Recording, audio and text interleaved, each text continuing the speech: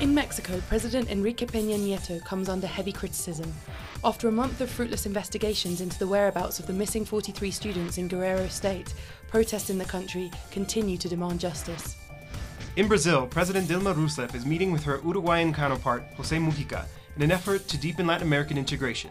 The leaders are discussing cooperation of energy projects and deep water ports.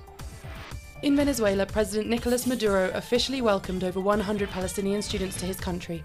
The youth are recipients of the nation's Yasser Arafat Scholarship Program and have arrived in Venezuela to study community medicine. In the West Bank, Palestinians demand the right to enter the Al Aqsa Mosque. On Friday, new clashes erupted after Israeli forces allowed Jewish extremists into the mosque while denying entry to Palestinians. The European Union has threatened Russia with new sanctions following Moscow's recognition of local elections in the rebel held provinces of eastern Ukraine. Russia claims the elections were necessary to continue peace talks in the region.